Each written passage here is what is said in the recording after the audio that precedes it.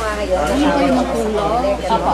Kasi ang alam ko sa pagka nagko-conduct ng unofficial count, once the Comelec national count official starts, eh dapat tumitigil na kami. Is that by law?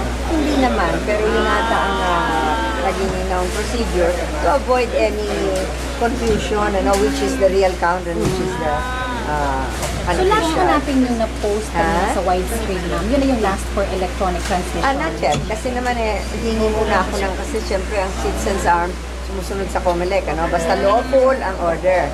Lang So, ma'am, pag ano. nalaman nyo ngayon na nag-start na yung canvassing doon, Pag sinabi nilang we have to stop, then we will have to stop. Ah, yung transmitted results. Or oh, you yes. still work, uh, wait for the appearance pa pala ma'am. Yes, I will make sure kasi para walang confusion. Dahil dati ang aming uh, ang alam ko sa unofficial count, you start you you see is when the official count begins para walang confusion. Yes, ganun din. oo.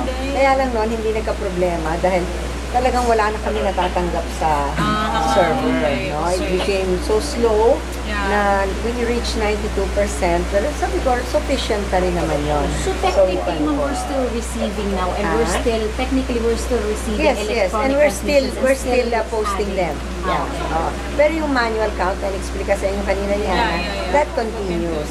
Oo. So yeah. kasi we got word from our people in the canvassing area na kanina pa nag-start. Oo, pero 11 hindi a.m. pa Wala naman pang ata word sila nag-uumpisa ng bilang na nagbibigay. O, nagtatanggol. Meron Ah, meron na? O sige, Ma'am, kailangan please make the na. necessary announcement sa lang. I will make. I will make immediately uh, as soon as I get them. I will do that.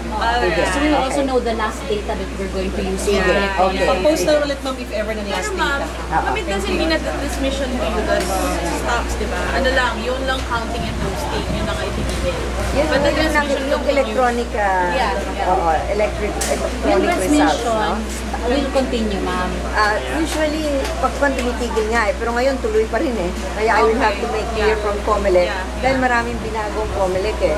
Noon, yung Comelec ah, server gets from the main server. Pero ngayon nakakabit din sila sa same transparency server. So, I will have to find out, we continue.